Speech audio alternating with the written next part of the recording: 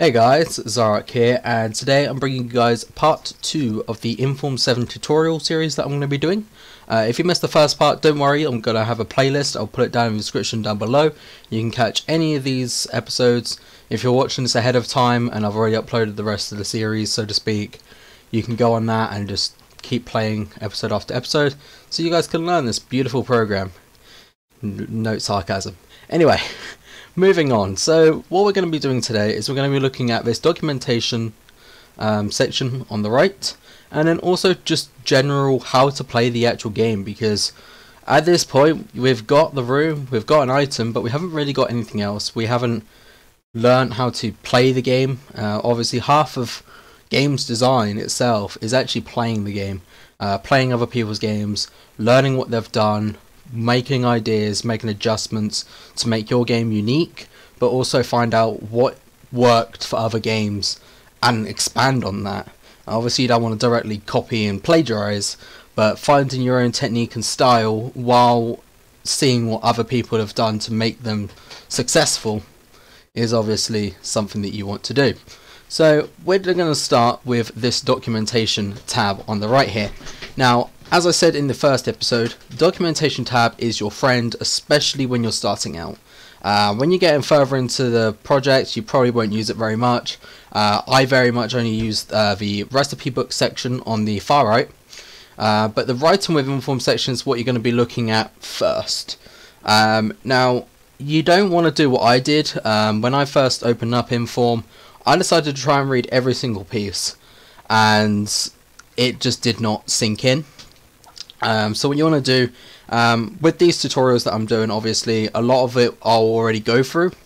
But if you get stuck or you want to see if you can find something for yourself or you want to go ahead of time, um, these little tabs here are brilliant. So for example, if we go to uh, things here, uh, you can see it's already got all the text that we've already done. So it says about the room, it says about the room description and the um, item. So you could have is here instead of is in uh, whatever room it is. Um, and that way I think you don't have to do the uh, description as far as I'm aware. Um, so you can see it's got loads of different areas.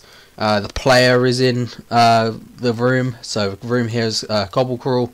The player is in Cobble Crawl. So if you want to make loads of different rooms, because the th let me start that again to make more sense. If you don't have that piece of code there, uh, it's, it's not necessary at all.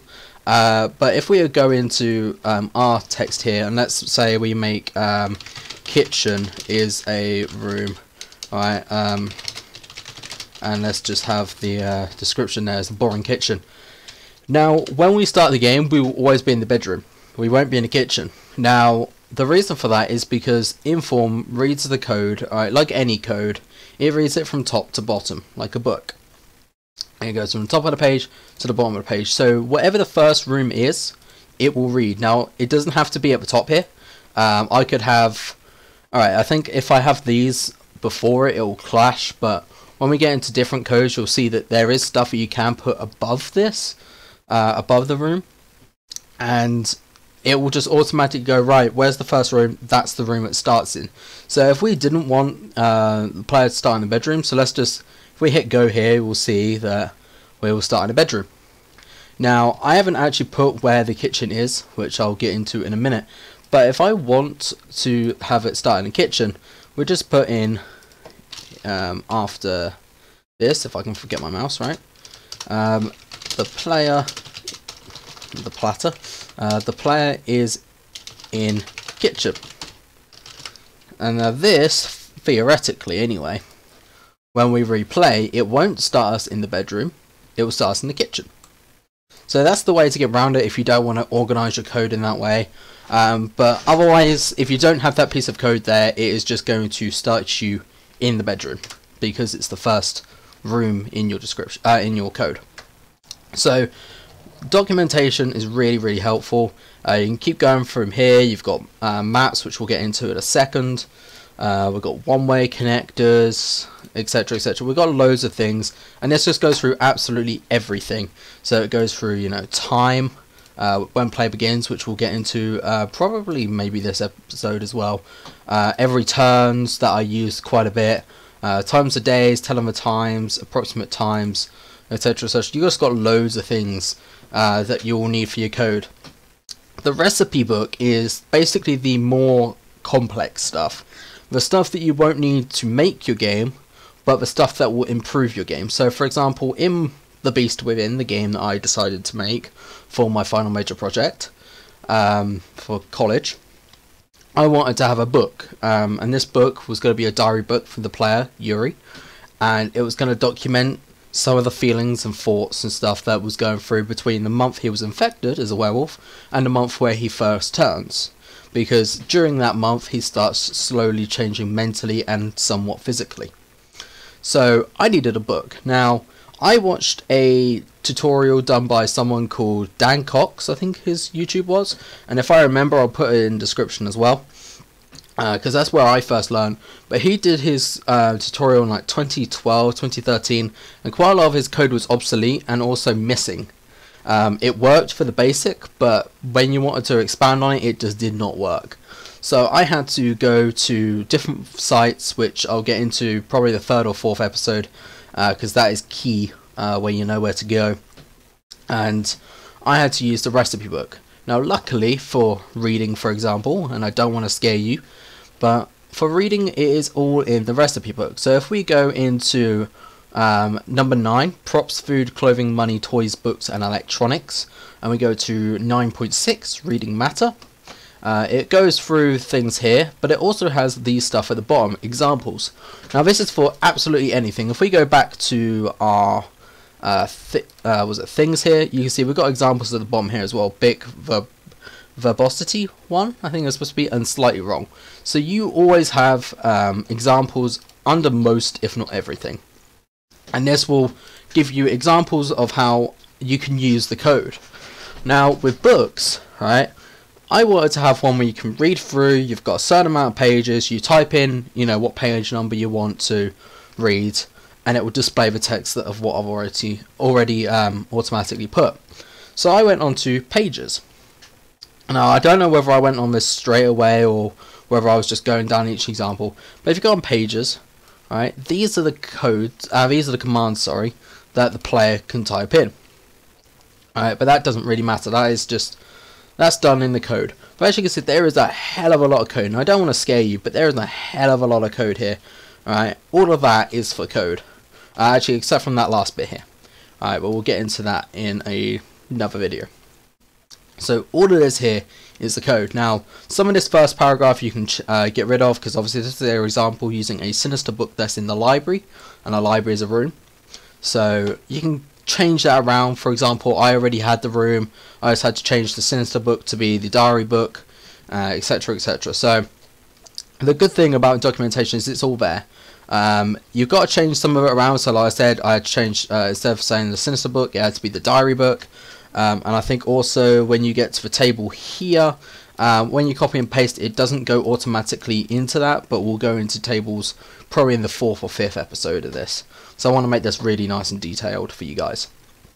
So the documentation really, really helps you. Probably stay away from the recipe book, the bit I just show you guys uh, for now, because that is the more complex stuff, you know, reading dice rolls, um, going places with vehicles, times, etc., etc.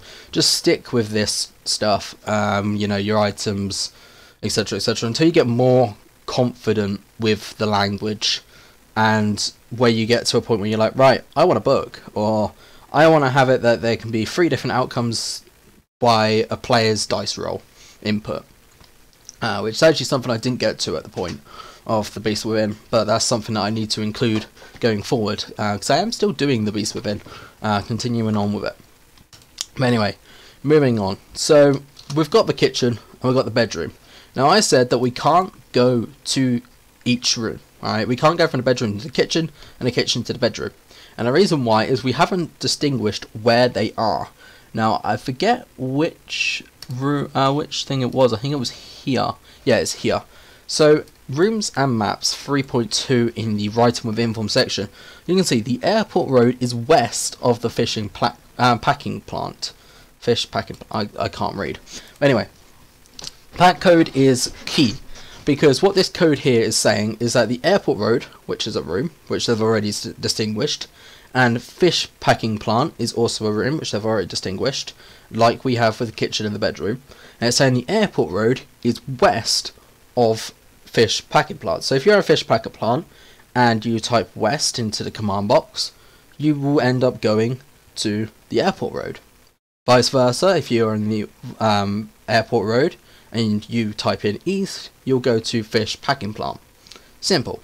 So we need to do that here, and exactly like it is here, you have bedroom as a room, and then let's say bedroom is north of kitchen.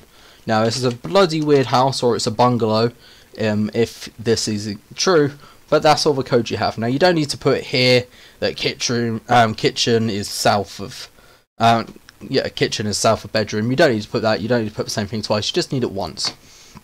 Now we've got rid of the code which uh, says the, uh, that we start in the kitchen, so we should theoretically, unless I've done anything wrong, which I haven't, start back in the bedroom. And now if we go south, we'll be in the kitchen. We go back north, we're in the bedroom. If I try to go east and west, we can't go that way. Similar, if we go south and we try and go east and west, we can't, or south, know, we can't because there's no rooms there. Now, if I took that code out, just to show you that it does work that way, uh, if I just get rid of that, hit the replay button, it will just keep saying you cannot go that way. So you need that piece of code there, and I think I just, yeah, there we go. So that's simple. Now this leads us on to the second part of the video, and it's going to be pretty quick because I don't want to keep the video stupidly long, and that's just navigating around the game. Uh, we're going to be doing the basics obviously first, so we haven't got too much in here. So, if we go replay again, so it, we can go to different places, we have codes that are simple, commands that are simple. You've got south, you've got east, you've got west, and you've got north. Obviously, because we've only got the bedroom and the kitchen, we can only go north and south respectively. Now, you can short those to east, west, south, and north simply, um, or you can obviously type them out. And a lot of them are similar in that way. So you've got inventory. Now we don't actually have anything, as you can see it says you're carrying nothing. You can also have it as inf, or you can even have it as i. So take your pick. Um, it really doesn't matter. Uh, obviously, sometimes you can code into different things, so be wary to that. Now, if we go, uh, we're in the bedroom right now. If we type in look, it will automatically reprint the room description. Now, this is great if you've got something that, like, every turn it changes or something like that, uh, for a bit like a Mindfuck game. Uh, that's really good, um, so you can see what you're doing. Or, for example, um, in my game, you're in a room called Hellstrom, and you're finding all the werewolves. And ask you, after you ask the question, "Who are you?" their names will change in the room description. So at the moment, I've just named the werewolves or the animals in this what they are. So Lupus, Goro, Ulfa, Zagrath, and then obviously the Archer as a person. But in the other thing, I might have had red werewolf, uh, brown, light brown werewolf, dark brown werewolf, no, dark werewolf, sorry, a white werewolf. Um, and then after you ask who, who are you, it then changes. So look is a quite nice command, but it's not something that you will see every single time. Now another thing you want is you want take. Uh, so we're going to take the pile of clothes, as it's the only proper item in here. Now if we go back into inventory, you can see we're carrying a pile of clothes.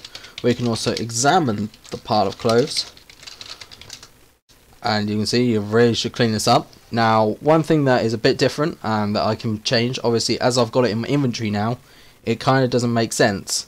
Um, you know, yeah, you should clean it up, but you've already got it with you. So, you can change the descriptions, and we'll get into that in another episode because it's a bit more complex. Um, but it's something that you probably will need.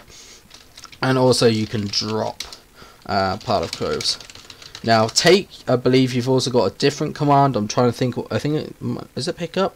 I'm not sure. Uh, is it pickup? Yeah, so you can do pickup or you can do take. Take is quicker. Um, as far as I'm aware, that is uh, really the basics that you need um, for now. I mean, you've got stuff like eating that you can do, which I don't even think I had in my game. Um, you can lock and unlock doors, which we'll get into. Uh, you can speak to people, which we can get into, etc., etc. But for now, this is the basics. So you got your four directions, your inventory, and how to take and pick up and drop items and examine them. That's all you really need. Now, if you're unsure of what commands you can do um, and what actions there are, because there is a lot built into Inform. Inform is very good at that; it builds into stuff so you can you don't need to code absolutely everything. But then sometimes when you want to try and override it, it's a pain in the ass. We'll get into that in another video. But if you guys want to see what every single command, every single action you've got automatically in, or even when you build it in yourself, because uh, you can make your own actions. If you at least have something in your source code here, and then run the program like so, and then go to index, and then go to command. Uh, you've got absolutely every single action in here. So we've got feed, we've got enter, we've got drop, drink, discard, which is the same as dropping, etc., etc. It will tell you whether you um, things are uh, the same. Mean, if you hit the um, like magnifying glass um, on some of them.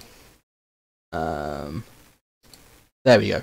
So, for example, dropping, you can see you've got all the check rules and stuff, which we'll get into in a different uh, thingy, and a different video, sorry. Um, and then you've also got all the commands. So, put down, put, drop, throw, discard, are all for dropping.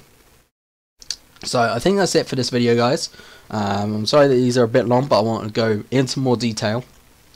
So I hope you guys did enjoy and learn a little bit more about how to use Inform and that maybe you can even try and go ahead with yourself, um, use some documentation tab and just experiment really. The beauty about code um, is that when you experiment you learn new things and you also find out different ways of doing things. There is 600 million different ways of using Inform to do things. So in the next episode I think I'm going to go over when play begins, uh, which is a command for hence when play begins, um, chaptering, and also variables. So we'll go over those three things. We're getting a little bit more complex now, now that we've learnt the basics. So I hope you guys do enjoy. This was Ark. Peace out.